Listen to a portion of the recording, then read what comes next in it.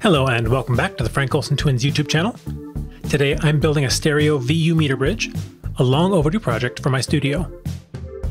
These are the parts I'm using, and there's a schematic for the diode bridges that I'll link to in the description.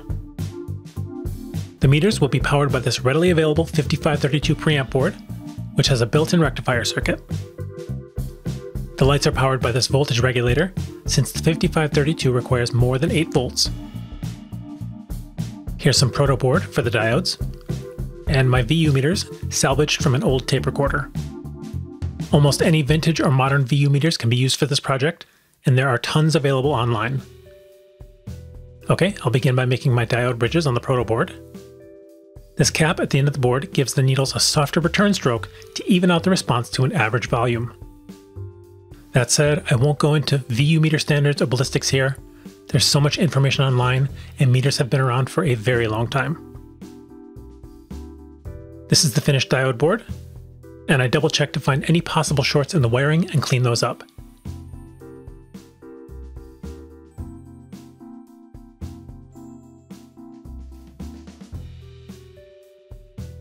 Here's the wiring diagram for my project.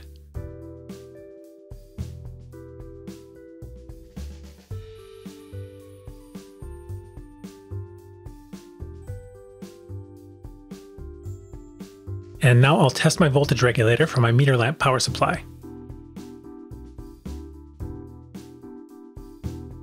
Okay, it works, and I can adjust the voltage and easily set the voltage as needed. I'll keep these around 7 volts to hopefully extend the life of the lamps as long as possible. Here's how I hooked up my input pots. For the most accurate calibration settings, either use two separate pots or a stereo resistive attenuator. Anything from about 50k to 100k will work fine.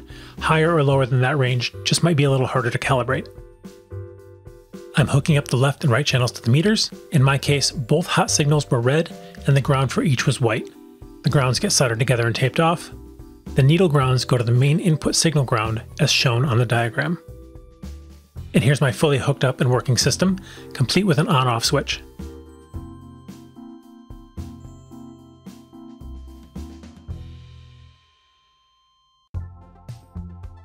I also made a mahogany case for my meter bridge, which was time consuming.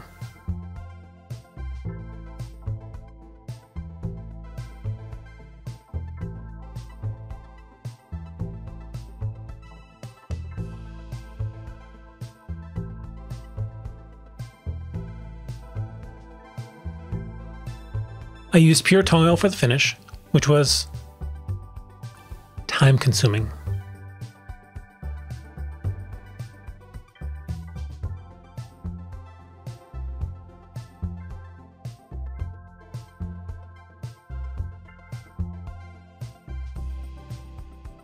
All that's left is to fit everything in the case and calibrate the meters.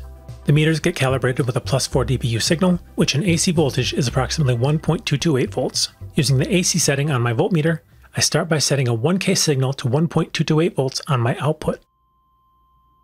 Now I can adjust my input pots to sit at 0 on the VU scale.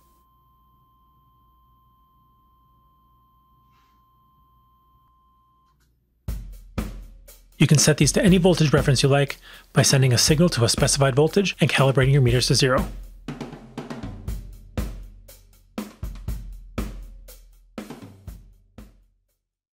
And there you have it. A pretty simple project to make a useful studio tool.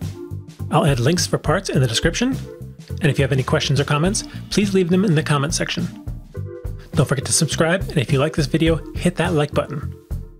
Thanks for watching.